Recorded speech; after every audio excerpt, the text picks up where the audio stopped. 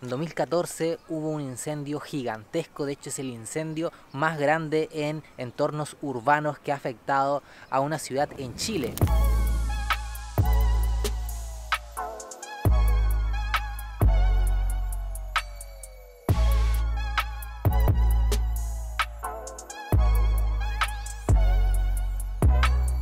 Sean bienvenidos todos a un nuevo video, mi nombre es Noé y en el día de hoy ando paseando por Valparaíso. Quiero mostrarles mi ciudad natal, aquí nací. Tiene su encanto esta ciudad a pesar de que ha sido bien afectada por todo lo que fue la crisis social que vivimos hace aproximadamente un año y también por supuesto por la pandemia. Y quiero mostrarles realmente parte de ese encanto que tiene.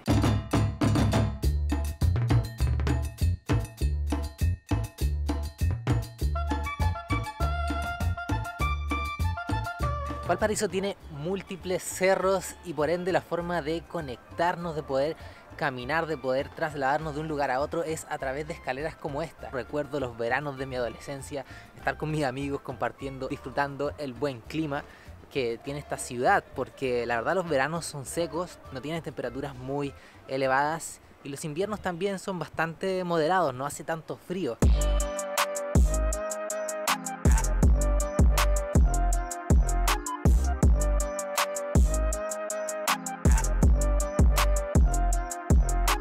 Una de las cosas que me encanta de Valparaíso es su arte urbano. Hay mucho graffiti, mucho arte plasmado en sus paredes, en sus murallas y es algo que también atrae a muchos turistas y que ojalá que se siga potenciando mucho más. De aquí también han salido artistas que hoy en día pintan en Europa, pintan en Estados Unidos, pintan en un montón de lados. La verdad es una galería de arte en la calle. Obviamente también hay otro tipo de rayados y pinturas que quizás no embellecen tanto la ciudad. Sí hay obras muy bonitas, incluso fachadas de edificios pintadas completamente.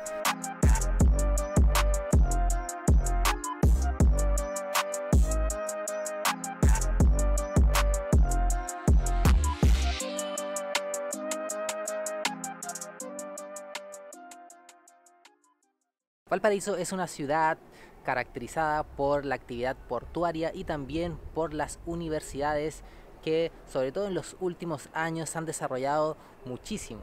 La población de la ciudad es de unos 300.000 habitantes, tiene 42 cerros, tiene una geografía que la hace muy similar a lo que sería un anfiteatro mirando hacia el Océano Pacífico y en Año Nuevo se ve espectacular. A mí personalmente no me deja de sorprender año a año que miro los fuegos artificiales desde miradores, desde las partes altas, cómo se ve esa bahía adornada, embellecida, los barcos en el océano con sus luces lanzando los fuegos artificiales. Realmente es un panorama increíble. De hecho, vienen muchos turistas a esta ciudad precisamente a pasar estas fiestas de fin de año. Como pueden ver, múltiples colores, como dice la canción, Mi Valparaíso, puerto principal, múltiples colores muchas casas muy coloridas y esto por el mito que los navegantes llegaban a la ciudad, veían sus casas, llegaban a sus hogares, llegaban donde sus familias. Ese es el dicho popular, lo que se dice ahí que es la razón por la cual Valparaíso tiene sus casas pintadas de múltiples colores. A mí personalmente me gusta, me parece bien pintoresco, bien característico de la ciudad.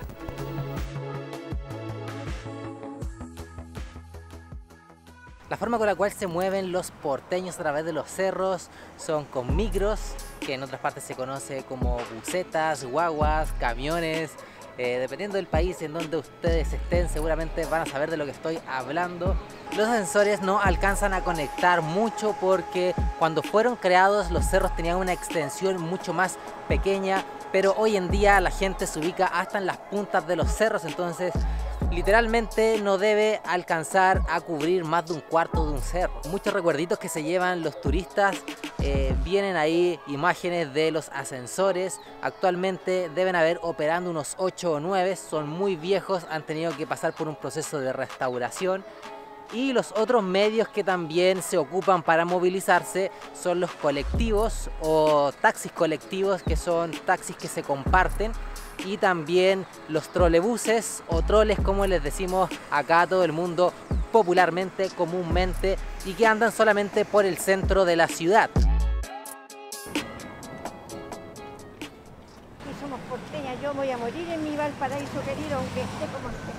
Claro, bajo y subo. Baja y sube, ya está. Ya, ya, no, no, no, no es problema, es costumbre. Y nací aquí. Yo Nació voy a cumplir los 80 en abril. Ah, vivió de todo, vivió los incendios, todo. Todo, todo, todo, todo, todo. Valparaíso lamentablemente es conocida también por sus calamidades, por las tragedias que han afectado a esta ciudad. En 2014 hubo un incendio gigantesco, de hecho es el incendio más grande en entornos urbanos que ha afectado a una ciudad en Chile. Y es parte de algo muy común acá, que en verano suelen haber incendios forestales que se inician en las partes altas de la ciudad. El incendio del 2014 se inició en las partes más altas y se fue extendiendo a través de muchos cerros y realmente hubo muchos afectados. Era como una zona de guerra, uno miraba en la noche ahí eh, desde los otros cerros, menos mal, eh, el cerro donde vive mi madre no se vio afectado, pero desde ahí teníamos una vista, una panorámica de lo que estaba pasando en los otros cerros. Y, y era como una zona de guerra, era como que estuviésemos siendo bombardeados, de hecho los balones de gas se explotaban y se veían las explosiones. Y la verdad fue algo muy triste. El tema de los incendios no es algo nuevo, de hecho esta zona se llamó, se bautizó por los indígenas como Alimapu, que vendría a ser tierra quemada. Y ha sido parte de toda la historia que se ha venido documentando desde hace muchos años, incluso por la misma razón en Valparaíso se creó la primera compañía de bomberos de Chile eh, a finales de 1800 porque hubo un gran incendio que afectó a la parte baja de la ciudad en donde se vieron afectadas unas 50 viviendas, es algo que pasa acá, es algo que ocurre y que todos los porteños lo vivimos y que todos los porteños sabemos que pasa.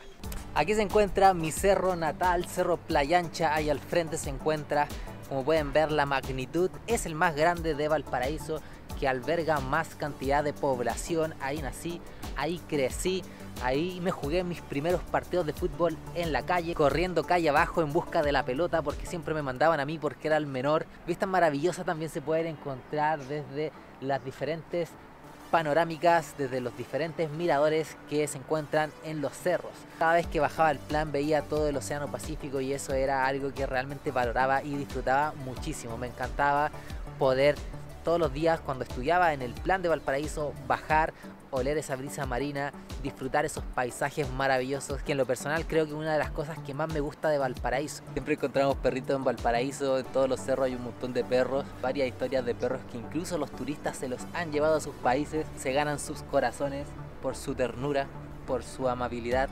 Miren qué hermosura de perros. ¿Qué pasa? Acá atrás vemos muestra de la inmigración que hubo a la ciudad. Vemos una arquitectura con estilos europeos y en esta zona, en las partes bajas de los cerros, se construyeron algunos palacetes que a día de hoy se mantienen y que son atractivos turísticos. Sin embargo, se diferencia mucho de lo que hay en las partes más altas de los cerros. Hay campamentos que son lugares en donde hay poco acceso a electricidad o se dificulta mucho más el acceso a ese tipo de servicios básicos y es un poco de la estructura de cómo se fueron formando las viviendas, eh, este tipo de estructura, las casas a través de los 42 cerros que conforman esta ciudad.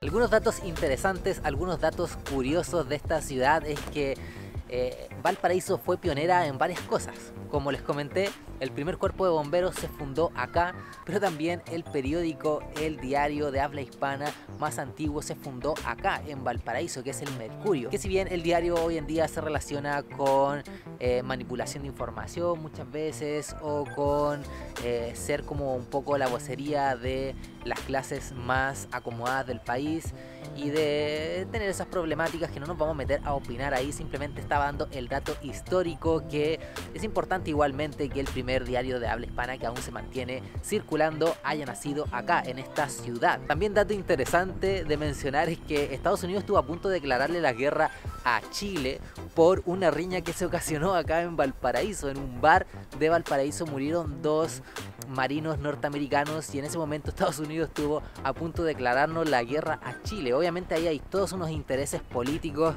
Es interesante que hayamos estado a punto de iniciar una guerra por un conflicto que se ocasionó en un bar acá. Valparaíso es una ciudad también que alberga una vida nocturna muy movida, sobre todo con la vida estudiantil, con las universidades que hay. Acá pueden ver todo lo que es el puerto. Eso en algún momento brilló, en algún momento significó una gran riqueza para Valparaíso, un gran desarrollo, un polo también muy atractivo para diferentes inmigrantes que llegaron porque Valparaíso es una de las ciudades que albergó mayor inmigración de personas que venían de Europa, de Estados Unidos, por el comercio que se desarrolló acá, el comercio que se desarrolló en el puerto. Y eso fue el video del día de hoy, espero que les haya gustado, espero que hayan podido apreciar un poquito de esta belleza que yo personalmente en mis ojos puedo apreciar, la belleza de Valparaíso, mi puerto querido, mi puerto que me vio nacer.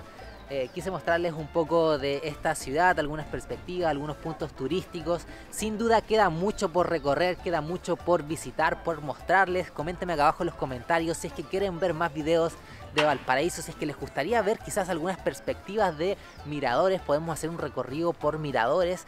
¿Qué les parece? ¿Les interesa el plan? Coméntenme acá abajo en los comentarios. Espero que les haya gustado este video, espero que lo hayan disfrutado, espero que haya sido interesante también y por qué no que hayan aprendido algo nuevo sobre esta ciudad. Y si es que en algún momento llegas a venir a Chile, no olvides pasar por esta ciudad porque tiene una historia muy interesante y también tiene su encanto. Muchas gracias por ver este video, suscríbete al canal, dale me gusta a este video, dale mucho amor para seguir haciendo estos videos, para seguir comunicando todo esto con ustedes. Les mando un gran abrazo y nos vemos en una próxima ocasión.